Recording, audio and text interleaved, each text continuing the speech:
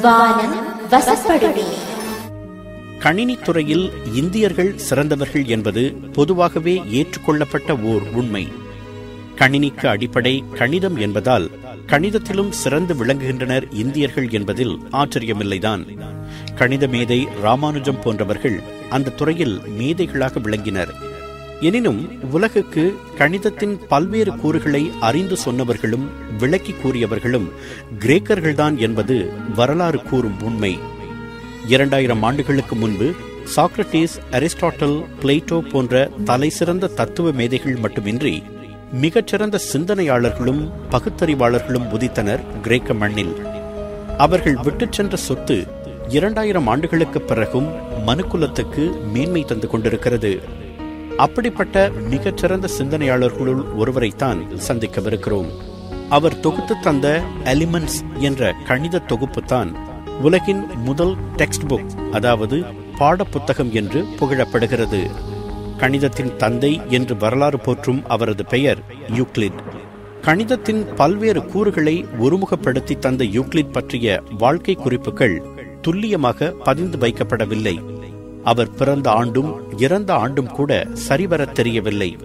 அநேகமாக அவர் கிமு முன்னூற்று இருபத்தைந்தாம் ஆண்டில் பிறந்து கிமு இருநூற்று அறுபத்தைந்தில் அலெக்சாண்ட்ரியாவில் இறந்திருக்க வேண்டும் என்று ஒரு குறிப்பு கூறுகிறது. எந்த நகரத்தில் பிறந்தார் என்பது கூட குறிக்கப்படவில்லை.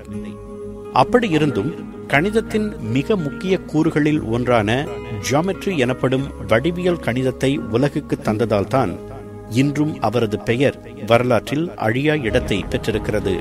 யூக்ளிட் தன் அடிப்படை கல்வியை ஏதன்ஸ் நகரில் பிளேட்டோவின் சீடர்களிடம் பெற்றதாக நம்பப்படுகிறது.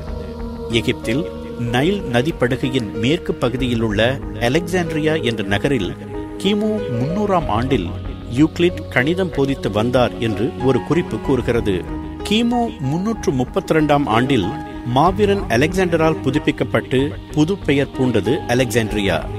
அலெக்சாண்டரை பற்றி வரலாறு அதிகமாகவே அக்கறை காட்டியிருப்பதால் அவரது காலகட்டத்தில் வாழ்ந்த யூக்ளிடை பற்றிய ஒரு சில குறிப்புகளும் பதிவாகி இருக்கின்றன. யூக்ளிடுக்கு சில நூற்றாண்டுகளுக்கு முன்பே சில கணித மேதைகள் கிரேக்க மண்ணில் உதித்திருந்தனர். உதாரணத்திற்கு கிமு ஐநூற்று எண்பத்தி ஐந்தாம் ஆண்டில் வாழ்ந்த தேல்ஸ் மற்றும் மிலட்டஸ் ஆகிய கணித ஆசிரியர்களை குறிப்பிடலாம். அவர்களைப் போன்ற அறிஞர்கள் கணிதத்தின் பல்வேறு கூறுகளையும் தியரம்ஸ் எனப்படும் தேற்றங்களையும் ப்ரூஃப்ஸ் எனப்படும் மெய்ப்பிப்பு அல்லது ஆதாரங்களையும் ஏற்கனவே கண்டுபிடித்து உலகுக்கு தந்திருந்தனர். ஆனால் வெவ்வேறாக சிதறி கடந்த கணிதத்தின் அத்தனை கூறுகளையும் ஒருமுகப்படுத்தி ஒழுங்குபடுத்தி எளிய உதாரணங்களால் விளக்கி செம்மையாக திட்டமிட்டு அவற்றை ஒரு நூலாக முறைப்படுத்தி தந்தவர் யூக்ளிட் தான். அவ்வாறு அவர் முறைப்படுத்தி தந்த நூல்தான் எலிமெண்ட்ஸ் எனப்படும் மூல கோட்பாடுகள் என்ற நூல். அந்த நூல்தான் கடந்த இரண்டாயிரம் ஆண்டுகளுக்கும் மேலாக கணிதத்தின் சிறந்த பாட நூலாக பயன்பட்டு வருகிறது. இதுவரை எழுதப்பட்டுள்ள பாடப்புத்தகங்களில் அதுவே மிகச் சிறந்ததாகவும் கருதப்படுகிறது. இத்தனை ஆண்டுகளாக கணிதம் கற்பிப்பதற்கு அந்த நூல்தான் ஆதாரமாக பயன்பட்டு வருகிறது. முன்பிருந்த கணித கோட்பாடுகளை முறைப்படுத்தி தந்ததோடு மட்டுமல்லாமல் ஜியாமெட்ரி எனப்படும் வடிவியல் கணிதத்திலும் அரித்மெட்டிக் எனப்படும் எண் கணிதத்திலும் விரிவான ஆராய்ச்சிகள் செய்து தனது முடிவுகளை அந்த புத்தகத்தில் கூறியிருக்கிறார் யூக்ளிட்.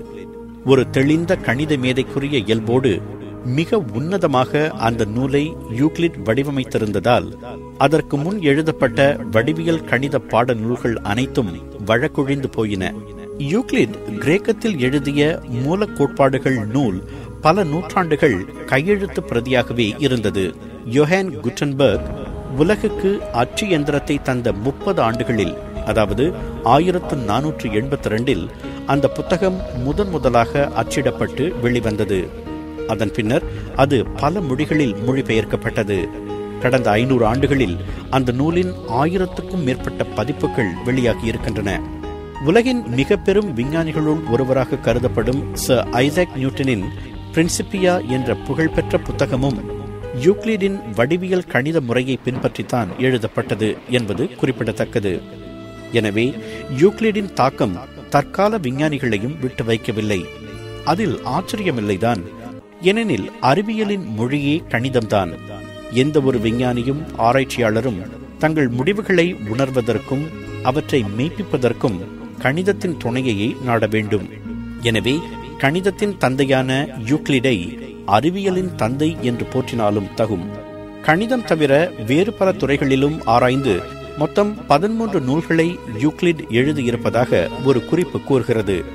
அவற்றில் மூன்றை தவிர மற்ற எந்த நூலும் பாதுகாக்கப்படவில்லை. யூக்ளிட் அலெக்சாண்ட்ரியாவில் ஒரு பள்ளியை நிறுவி கணிதம் போதித்து வந்த போது ஒரு மாணவன் அவரிடம் இதையெல்லாம் படித்து எனக்கு என்ன லாபம் கிடைக்கப் போகிறது? என்று கேட்டானாம். உடனே யூக்ளிட் தன் பணியாளனை அழைத்து இவன் லாபத்தை எதிர்பார்த்து கற்க வந்திருக்கிறான். இவனுக்கு சிறிது பொருளை கொடுத்து வெளியே அனுப்பிவிடு என்று கூறினாராம். பின்னர் தன் மற்ற மாணவர்களை பார்த்து கல்வி என்பதே லாபம்தான். புதியனவற்றை கற்றுக்கொள்வதும் தெரியாததை அறிந்து கொள்வதுமே பலன்தான் என்றாராம். இன்றைக்கும் பொருந்தும் உண்மையல்லவா அது? கிரேக்கத்தை ஆண்ட டாலமி என்ற மன்னனுக்கும் கணிதம் கற்பித்து வந்தார் யூக்ளிட். சிரமப்பட்டு கணிதத்தை கற்க விரும்பாத அந்த மன்னன் யூக்ளிடை பார்த்து கணிதத்தை கற்க வேறு சுலபமான மார்க்கம் ஏதாவது உண்டா? என்று கேட்டாராம். அதற்கு யூக்ளிட் கணிதத்தை கற்க உழைப்பை தவிர வேறு வழியே கிடையாது. மன்னரானாலும் மற்றவர்களைப் போலவே சிரமப்பட்டு வியர்வை சிந்தியே கற்க வேண்டும் என்றாராம். அந்த உண்மையும் இன்றைக்கும் பொருந்தும் அல்லவா எனவே கணிதத்தின் தந்தை என்று போற்றப்படும் யூக்ளிடின் வாழ்க்கை நமக்கு கூறும் எளிய உண்மைகள் இரண்டுதான். ஒன்று எப்போதும் எதையாவது கற்றுக்கொண்டே இருக்க வேண்டும். இரண்டு உழைப்புக்கு நிகரான பண்பு வேறு கிடையாது. அவ்வாறு கல்வியும் உழைப்பும் இணையும் போது வசப்படாமல் போகும் வானம் ஏது?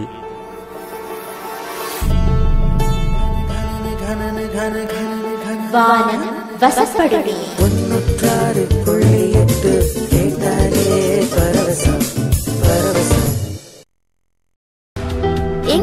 நிகழ்ச்சிகள் உங்களுக்கு பிடித்திருந்தால் உடனுக்குடன் கண்டு மகிழ கீழே உள்ள சப்ஸ்கிரைப் பட்டனை அழுத்தவும்.